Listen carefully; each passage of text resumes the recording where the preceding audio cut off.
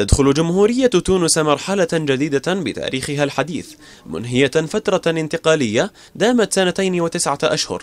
في أعقاب ثورة شعبية أطاحت بحكم الرئيس المخلوع زين العابدين بن علي.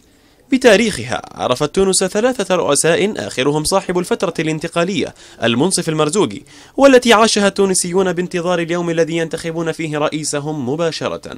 منصب رئيس الدولة التونسية الذي يصفه مراقبون بأنه محدود الصلاحيات وفقا للدستور الجديد يتنافس عليه 27 مرشحا أبرزهم العلماني باجي قائد السبسي ذو السبعة والثمانين عاما والذي حصل حزبه نداء تونس على المركز الأول في الانتخابات التشريعية يليه الرئيس الحالي المنصف المرزوقي من حيث الأهمية والحظوظ. ويرتبط ذلك بالدعم القوي الذي توليه له قواعد حركة النهضة الإسلامية التي حصلت على المركز الثاني في الانتخابات التشريعية والتي فوضت أنصارها اختيار مرشح منقطع العلاقات مع النظام السابق ويحمي أهداف الثورة.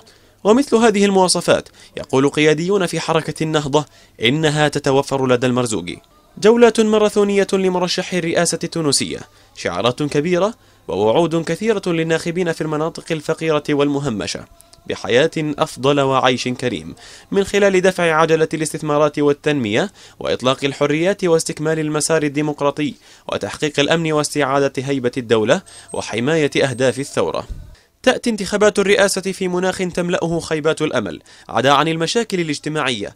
كالبطالة التي وصلت مستويات عليا في تونس إضافة إلى ما تمثل بعودة رموز النظام السابق وأن الثورة قامت ضد نظام فاسد بأكمله وليس ضد شخص واحد. وعودة رموز النظام السابق إلى المنافسة في الانتخابات تؤدي إلى فقدان الأمل في صفوف قطاع عريض من المجتمع وبالأخص فئة الشباب. هي المرة الأولى إذن التي ينتخب فيها تونسيون بالاقتراع المباشر رئيس دولة بحرية منذ استقلال بلادهم عن فرنسا في العام 65 ويبقى السؤال هل ستحقق نتائج انتخابات الرئاسة تطلعات التونسيين بحياة كريمة واستقرار سياسي أم أنها أضغاث أحلام ستوقظ التونسيين على الواقع المرير من جديد؟